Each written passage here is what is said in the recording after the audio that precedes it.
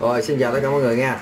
À, Chào mọi người đến à, trở lại tới cái kênh à, từ học đàn của mình. Các bạn nào chưa đăng ký thì hãy bấm đăng ký liền đi nha. Bấm nhấn chuông theo dõi để theo dõi những cái video mới nhất. À, Mình sẽ à, đăng những cái video hồi hộp tâm linh à, à, cho tất cả mọi người coi. À, Sự thật sự thật về xác của ông cũng như là chuyện tâm linh à, quyền bí ở à, tỉnh An Giang của mình.